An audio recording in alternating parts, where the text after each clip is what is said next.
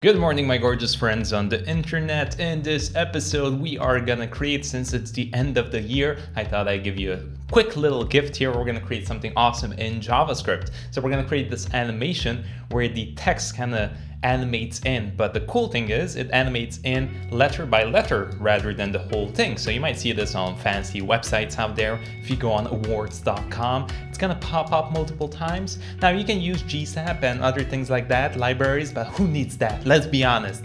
Our life is easier if we have the knowledge in our soul. What? And before we get going, I do want to say happy holidays to all of you and a happy new year because this is going to be the last video of this year and we're gonna get started fresh in January. I'm excited, hype beast. I also want to thank Skillshare for sponsoring this episode. If you're interested in programming, design, editing, maybe drawing, or playing the piano, that's what I'm currently doing. Uh, Skillshare is an awesome online platform that will help you do that. Again, I'm currently learning how to play the piano, and the reason why I'm doing these different things is because I feel like if I experiment in all of these other creative fields, I feel like I get more creative in my field. Uh, so don't be afraid to branch out and experiment with different things. You might be surprised how good it is. Uh, thankfully, they gave me a link in the description. If you click on that link, you're gonna get two months for free, so you have nothing to lose. And the annual subscription is gonna be less than $10 a month. So give it a shot. Thank you so much Skillshare for sponsoring this episode. And let's let's do the little animation thing, shall we? Hello there, fancy people. So let's get going. I just created three files here. All of them are empty. Empty, like my Christmas presents this year. Uh, so what we're gonna do is just generate a file here. This is gonna be called the fancy text animation. So I'm gonna say fancy. And all I'm gonna do here is just add a h1 with a class of fancy. Okay, and this is gonna say fancy schmancy. Wow, amazing. Okay, so this is all we're gonna have here. All we're gonna do is just link up the style.css and our app.js. So let's link that and let's link this. How do you do? You do script. Nah, eh, why you do this? Script, source, app.js. All right, so we successfully linked all of these together. So as you can see, I don't have anything in these outline. What is this? Okay, so let's go to style.css. I'm gonna open up our live server, which is currently on the other screen. Thank you. I'm gonna drag it over here. And here we're just gonna do some basic stuff and nothing too crazy. Just remove these styles and margins just so we can see everything better. Padding zero and box sizing border box. Like that, okay? I'm just gonna grab the body, add a background of black to it black, good, and just grab the H1 and just style it up a bit. We're gonna do color white, like that. Font size, we're gonna increase it, in, increase it to 4em, and then we're gonna do a font family of sans serif from Red Dead Redemption. Okay, text align the center. Yeah, I'm not gonna do flexbox. I am cool today. So how do we align this to the center here? Well, we can use line height line height, and we can say 100 VH. And bam, bada bim, bada boom. Wow, amazing. All right, let's close. Let's make this smaller. I'm zoomed in. Okay, that's all we need. So here's what we're gonna do. How can we make this animate like one by one? Well, currently, if we grab the H1, there's no way to do that. So what we're gonna have to do is take everything here and transpose it transpose, is that a word? Or transform it to, e to spans. So all of these individual letters to become spans. And that way we can animate each individual span.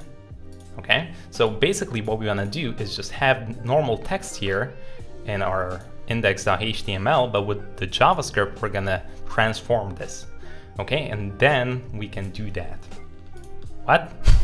Okay, so here's what we're gonna do. We're gonna grab the text, all right? So we're gonna say document, the query selector, and we're gonna say fancy. Okay, then what we're gonna do is, this is the DOM element. So we want the text from this because if I console log text right now, you're gonna see that that's, that's not what I want. Console, look, we have H1 here, class fancy. I wanna get the text fancy schmancy.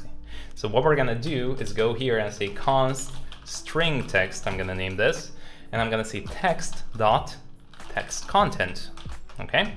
And this is gonna give me the actual fancy schmancy. So if I console log string text, you're gonna see OBS fancy schmancy right there. Okay, now that we have that, what I wanna do is split it up, create an array of each individual letter. So the way you can do that is you can say const split text, I'm gonna say, and set this equal to string text dot split. And I'm gonna split it by just adding a pair of uh, quotes there. So if we console log this split text, now split the text, uh, you're gonna see that we have an array which each individual letter in a string. Okay, that's good. So now what we can do is we can say, we can create a loop. So we can say for let i set this equal to zero, and then we can say if i is smaller than split text, so the array dot length, all right, because we want to loop over everything in here, I can say i plus plus, like that. And in here, what we can do is say text so the actual text, the h1 up here, we can get this and we can change the inner HTML. And what I want to do is add a plus equals because I want to add to this plus equals. And I'm just going to create a pair of quotes. I'm going to say span. So we actually generating a span in here. Span plus split text. And I'm going to add the i. All right, so it goes through each individual letter in this loop split text being the array, right? So we get the each individual one here and just add it inside as a span. Okay, so split text i plus, and then we can do another pair of quotes and we can just close up this span like this, like this. Hit save, let's see what we have. Okay, so now it repeats itself as you can see right there. Now, if we take a look, if we inspect with the Elementor, we're gonna see that, look, we made everything to a span. However, we also have this h1 here, which we don't want anymore. So what we can do is just go up here and just say text dot text content and literally just reset this to nothing like that. All right, and that's gonna get rid of it. So now we just have the span. Boom, boom, boom, boom, boom, boom. Wow, amazing. Creative, creative, Ed. You're so creative. Um, so now what we can do is we need to create some kind of interval, all right? So some kind of loop, uh, not, not loop, something that just boom, boom, boom, boom, starts putting in the letters one by one. So the way we can do that is we can create a let character, I'm gonna set this to zero, and we can create a timer like this. I'm gonna set interval, all right, so this runs every some amount of seconds. I'm gonna create an on tick function, which we're gonna add in a bit. And I'm gonna add it to run every 15 milliseconds, okay? So now we can create that function, function on tick, like this. And here what I wanna do is basically add a class, uh, add a class to each span. So we can say const span, and I'm gonna set this equal to text dot query selector all. Okay, so we're actually getting the spans that are generated up here. So we get those spans, we get all of them. I'm just gonna say span, like this, and I'm gonna add the character here at the end. So we get each individual one from zero all the way to the finish. Okay, and after we get those, we can say span splan dot class list add, and we're gonna create a class of fade, which we're gonna add in just a bit. Then we're gonna increase the character plus plus, right? Because this is gonna run every time, so every 50 milliseconds, uh, we're gonna get the first span in here. So this one is gonna add the class to it, and then it's gonna go to this one after 50 milliseconds, add the class to it, and so on and so forth. And since we're increasing this character, it's gonna loop over it. Okay, so after that, what we wanna do is not let this run forever, right? Because eventually we wanna stop after it goes to the end of it. So what we can do is say if we can say if the character triple, triple equals split text length, so after it reaches the end, I can just add a complete function here. Whoa, complete, like this. And we can return. Okay, so let's create that complete as well. And here, what I want to do basically is very simple. I can just say function and complete. No, what am I doing? Function complete, like this. Here, what I want to do is just clear that interval that I made. And the timer. So this timer interval, I want to clear it. I don't want this to run anymore. And I'm just going to reset the timer and set it equal to null. Okay, and that's it. So let's take a look.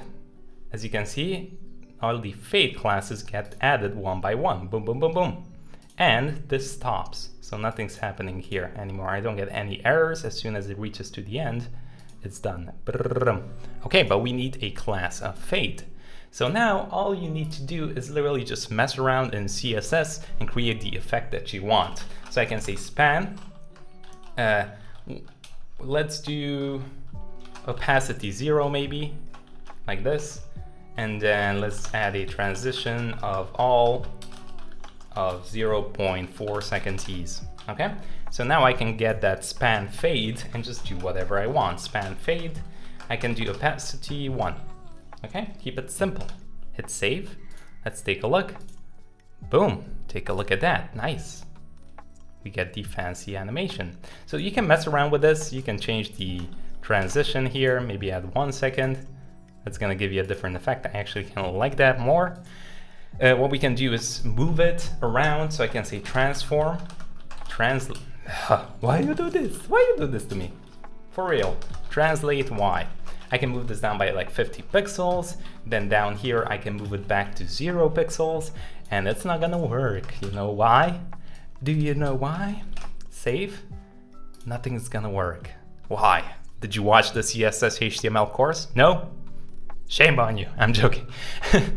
it doesn't work because the span is an inline element. So we can change this to display inline block and then it's gonna get the ability to move up and down inline block, hit save, and now you're gonna see that we get this, whew, wow.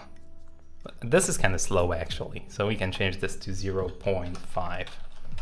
Save. Bam, there we go.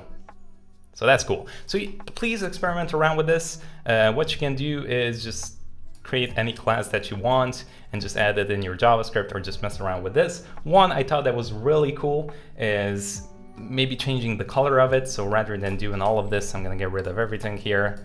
Uh, let's clear this up and clear this up. You can also do something like, oh, actually I want the transition here. So let's get rid of these. Uh, maybe you can just add a color change to it and it's still gonna look pretty cool. So let's do a bluish color. Just like something like this.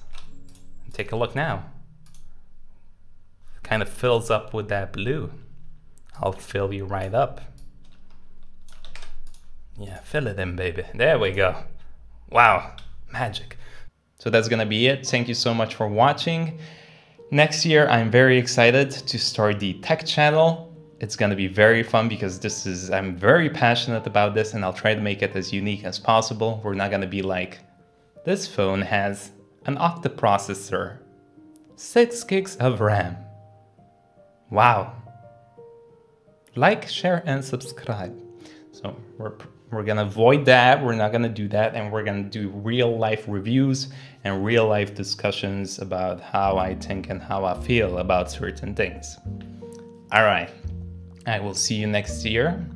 Jingle bells. Okay. That's awkward. I'll just leave the room.